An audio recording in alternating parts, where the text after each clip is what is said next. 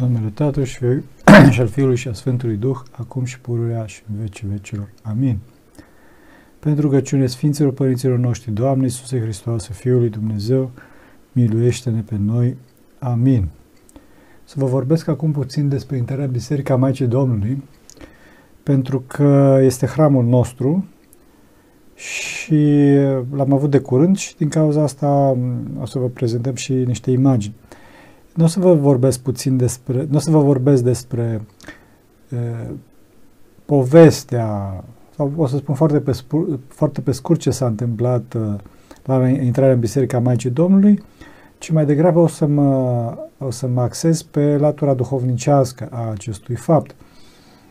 Intrarea în Biserica Maicii Domnului, după cum știți din tradiție, dintr-o anumită scriere numită Evanghelia lui Iacob, așa, care nu este în canonul Noului Testament, este vorba de faptul că Maica Domnului a fost închinată de către Sfinții Ochim și Ana, a fost închinată lui Dumnezeu și a fost adusă la templu, la naos, în limba greacă, la biserică, cum se traduce în, în română, a fost adusă la, în, la templu la vârsta de 3 ani și a fost pusă de către Sfântul Zaharia, tatăl Sfântului Ioan Botezătorul, a fost pusă în Sfânta Sfintelor, acolo unde e, arhiereul nu intră decât o dată pe an cu jertfă de sânge. Nimeni nu intra în Sfânta Sfintelor, celelalte e, fecioare stăteau în Sfânta, adică în camera din față, în anticamera. Sfânta Sfintelor este altarul, un fel de altar, cum era pe, cum este astăzi, să vă imaginați.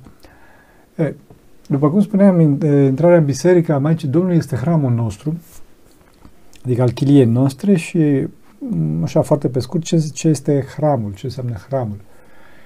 Hramul este sărbătoarea principală a unui așezământ monahal și în clipa în care se serbează protectorul, sau mă rog, protectoarea în cazul nostru, în clipa în care avem hramul, în clipa respectivă este un har foarte special, un har caracteristic și din cauza asta slujbele de hram sunt lungi, sunt mult mai lungi pentru a ne hrăni cu, hramul, cu harul mare al sărbătorii. Cum spuneam, fiecare hram, fiecare sărbătoare își are specificul său. În cazul de față, intrarea în Biserica Maicii Domnului înseamnă renunțarea la viața, la viața care aici pe pământ este în umbra morții după căderea lui Adam. Și deci Maica Domnului a renunțat la această viață în umbra morții și pentru a câștiga, bineînțeles, viața în lumina, sub lumina Dumnezeirii. Deci Maica Domnului asta a făcut și gândiți-vă că era vorba de o, de o fetiță de trei ani și mai ales spune istoria că ea s-a dus de la sine și la vârsta de trei ani a urcat repede de la sine și să intre în templu, nu a trebuit să fie atrasă, să fie momită, chiar dacă erau acolo niște, niște fete, niște fecioare care să o, în caz că Maica Domnului nu ar fi dorit să, să o să o aducă pe Mariam, să o ducă în templu. Dar Maica Domnului, fiind plină de har, fiind desăvârșită, s-a dus singură în templu, atrasă de harul lui Dumnezeu. Deci Maica Domnului a renunțat la copilăria ei, a renunțat la nimicurile vieții acestea, pentru a câștiga totul, pentru a câștiga pe Dumnezeu, pentru a câștiga uh, perfecțiunea, cum spuneam.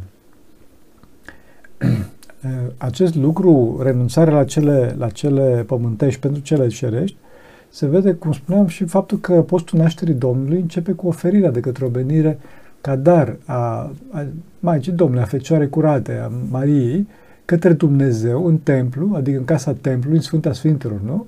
care este preînchipuirea altarului ceresc și se termină cu oferirea în dar de către Dumnezeirea Fiului Celui Preacurat pe pământ către noi, către oameni, în casa oamenilor, unde, unde îl, bineînțeles, pe el așteaptă alt altar, aici pământesc, altarul pământesc, care este crucea, bineînțeles.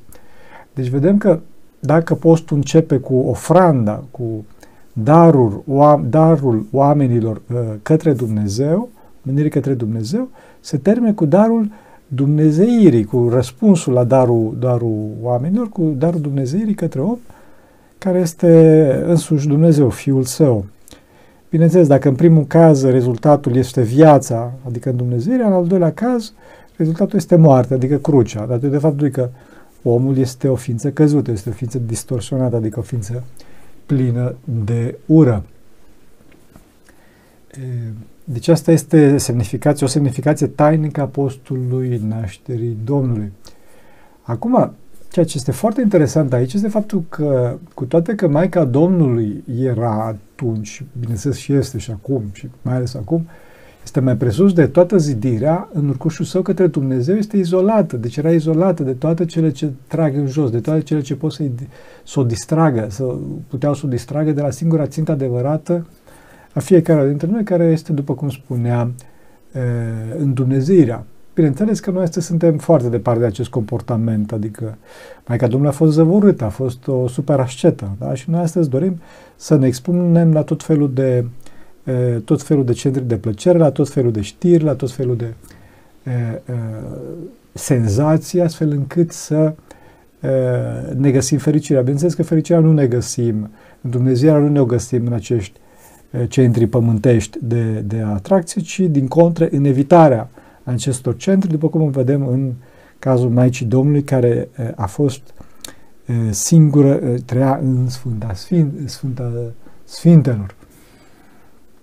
E, și mai ales gândiți-vă că acest lucru s-a întâmplat, a rânduit uh, pronia, a rânduit purtarea de grijă lui Dumnezeu cu Maica Domnului, care a fost plină de har, nu? deci a fost uh, persoana perfectă. E, cu atât mai mult, uh, cu atât mai mult uh, în cazul nostru. De, și alt, alt lucru ca să, ca să lămurim este vorba de faptul că Maica Domnului, mare atenție, Maica Domnului când, spun că a fost, când spunem că a fost uh, persoana perfectă, Faptul înseamnă că a fost isih, cea mai isihastă ascetă din lume, cea mai desăvârșită, nu? Sfântă. Deci nu a fost, nu vă imaginați că a fost o fetiță care nu știa multe, multe adică nu cunoștea și așa mai departe. Din contră, luminarea minții sale și cunoștința sa depășea și depășește, bineînțeles, cu mult tot ceea ce ne putem noi imagina despre acest lucru. Da? Și cu toată, cu toată această super cunoștință cu toate acest plan existențial deasupra oricărui lucru care putem imagina, cu toate acestea, Maica Domnului s-a izolat și mai ales din cauza acestei ignoze, din cauza acestei cunoașteri, Maica Domnului s-a izolat de această lume, după cum cineva se izolează în clipa în care se maturizează, se izolează, dacă doriți, de e, jucăriile copilăriei. Bineînțeles, dacă se maturizează omul respectiv. Pentru că astăzi, mă rog, trăim o societate de, suntem o societate de imatur datorită faptului că există foarte, foarte multă plăcere în societatea noastră. Deci, Maica Domnului Sfânta Sfintelor, datorită ascezei sale, a ajuns, a ajuns să-și desăvârșească starea sa fără de păcat, pentru că Maica Domnului trebuie să știți că nu a avut niciun păcat, n-a păcătuit niciodată, nici măcar cu uh, gândul. E, lipsa, lipsa oricărui păcat, or, oricare plăceri păcătoase, ca roda așeze sale Sfânta Sfintelor și a întregii vieții sale, deci lipsa oricărei distorsiuni, oricare fisuri, oricare slăbiri existențiale, a permis puterii Dumnezeirii să se manifeste plenar, adică în toată forța ei, prin fecioară și să se nască din aceasta, împletindu-se cu oamenii, adică cu, cu, cu, cu persoana Maicii Domnului.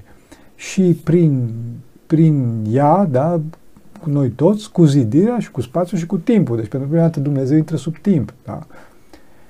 A intrat sub timp și s-a sălășluit între noi, deci am putut să-L vedem și asta a fost un lucru fenomenal, pentru că Dumnezeu, de fapt, a făcut o metanie de la cer la, până la pământ, nu? dându-ne posibilitatea să-L scuipăm, bineînțeles, în cap, ocazie pe care, desigur, noi nu am ratat-o. El însă a răbdat toate. Domnul a răbdat toate, a coborât pe pământ pentru dragostea noastră și mai ales pentru dragostea Fecioare, pentru dragostea Maicii Domnului, care Maica Domnului s-a suit la cer ca să-l tragă de acolo, bineînțeles, tot cu ajutorul său. După cum vedem în Vechiul Testament, când uh, împăratul Ezechia, când a fost uh, atacat Ierusalimul și era într-o situație critică de către uh, foarte mândri și hulitorii cotropitori, în clipa respectivă, împăratul Ezechia, în, în disperare de cauză, își ridică mâna către cer și spune, Doamne, cu mâna aceasta care nu s-a ridicat asupra niciunui om, te implor, te rog, coboară și ne mântuiește pe noi. Bineînțeles, Dumnezeu s-a coborât și a mântuit, dar era vorba de o mântuire în principal trupească, prin, nu știu dacă știți, minunea care s-a întâmplat atunci în fața porților Ierusalimului, a venit un înger și a distrus uh, câte 100, 100, 100, mai mult de 150.000 de soldați asirieni. E, în același mod spune, sau mai presus de, de acest mod, spune Sfântul Grigore Palama că Maica Domnului a spus la fel ca și împăratul Ezechia a spus Doamne, cu mintea aceasta care nu s-a ridicat asupra niciunui om, cu mintea aceasta care nu a primit nimic pământesc în ea, te rog, te implor, vină, coboară și mântuiește-ne pe noi. Dar, bineînțeles, din, în, în acest caz e vorba de mântuirea adevărată, mântuirea duhovnicească, mântuirea întregii personalități a omului. E, după, cum, după cum am spus, mai că Domnul a stat în Sfânta Sfintelor, adică în camara, în sala unde înainte de robia babilonică era chivotul legii, nu știu dacă știți? Așa, pentru că ea însăși trebuia să devină chivot a legii cele noi. Adică trebuia să devină cămara, o daie însuflețită în care urmează să se lășluiască Domnul, adică dătătorul legii. Deci este, după cum vedeți, o înduhovnicire a legii cele vechi prin Maica Domnului, prin Fecioară, adică prin cineva care este curat, care este străin de orice plăcere păcătoasă, plăcere trupească, da. Pentru că Dumnezeu, bineînțeles, locuiește în lumina cea neapropiată, după cum spune Sfânta Scriptură, cuvenit, bineînțeles, era ca și Maica sa să nu fie văzută în perioada sa de pregătire pentru naștere, pentru nașterea lui Dumnezeu, cel care, după cum spuneam, locuiește în această lumină. În perioada în care se pregătea, se pregătea Maria, se pregătea să devină Maica Domnului. După cum vedeți, Dumnezeu, ca să-și păstreze, dacă doriți, curăția sa, cu toate că, bineînțeles, Dumnezeu nu are nevoie de așa ceva, dar face acest lucru ca să ne arate nou exemplu, să ne dea nou exemplu. Să ne dea nou exemplu, ne arată că trebuie să ne separăm de lume, să ne separăm de mâzga grijilor, să ne separăm de această avalanșă a informațiilor pentru a ne menține mintea curată, a, a, a ne lumina mintea de harul uh, cunoștinței dumnezeiești, pentru că harul întâi de toate este cunoștință iubitoare. E, și deci asta este încă un motiv pentru care Maica Domnului a stat în Sfânta Sfintelor. Bineînțeles că și la, la fel și noi trebuie să ne pregătim pe cât uh, posibil să-L naștem pe Dumnezeu în inimile noastre. Bineînțeles, nu prin unirea firilor, cum a fost, uh, cum mai Maica Domnului putea să facă așa ceva. E, e sigur că Maica Domnului a făcut asta, a fost o minune, care această minune va fi irepetabilă în toată istoria omenirii, nu, a, nu s-a întâmplat nici înainte și nici după nu se va mai întâmpla. Ci noi trebuie să naștem pe Dumnezeu în a inimii noastre, după cum există expresia foarte cunoscută, bineînțeles fiecare dintre noi după asceza noastră, după când ne putem strădui, bineînțeles că această asceză este dată, trebuie să știți, de intensitatea iubirii noastre de Dumnezeu, de, de, de cât de mult îl iubim pe Dumnezeu și de povățuirea duhovnicească pe care o avem. Înțelegeți? Deci trebuie să avem, să avem grijă să avem un povățuitor duhovnicesc și să ne, să ne creștem zelul să nu uităm să iubim pe Dumnezeu, pentru că societatea în care trăim este o societate care ne împinge înspre a uita, înspre a uita să iubim. Spre a uita să iubim. Nu trebuie să uităm niciodată să iubim.